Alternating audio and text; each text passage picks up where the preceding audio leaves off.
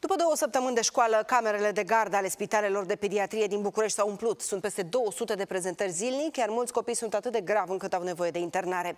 Medicii spun că virozele periculoase de iarnă au debutat mai devreme în acest sezon, iar cei mai afectați sunt cei din primul an de colectivitate. Sezonul virozelor a început mai devreme și a umplut spitalele din capitală. În a treia săptămână a începerii școlii e săptămâna neagră, cum îi zic americanii, pentru că se suprapun sezonul de polenuri, care în această vară a fost foarte lung și foarte intens, peste virusurile de grădiniță, de comunitate. Cam 10% de numărul de prezentări au reprezentat-o pacienții care nu au putut fi deloc ameliorați cu protocoale utilizate în compartimentul de primiri urgențe.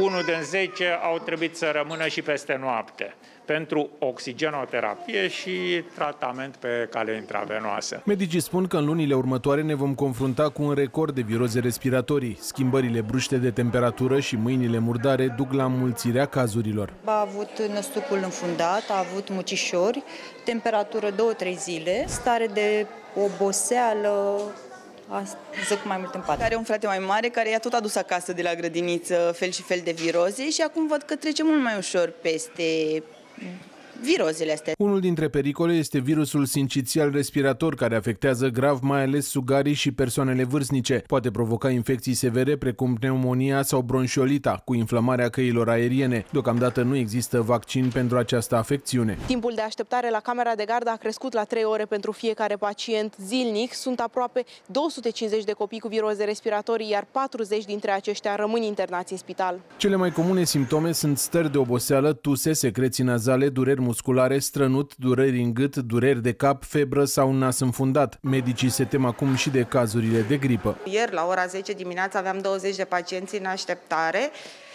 din toate categoriile de vârstă cu simptomatologie diversă. Încă nu a început sezonul gripal și deja au început să apară cazuri care necesită internare și monitorizarea pacienților. Singura soluție, spun specialiștii, este triajul copiilor dimineața în școli și grădinițe. Pentru a preveni infectarea și explozia cazurilor, părinții trebuie să ceară ajutorul medicului de familie de la primele simptome de răceală, iar acolo unde este cazul să țină copiii acasă.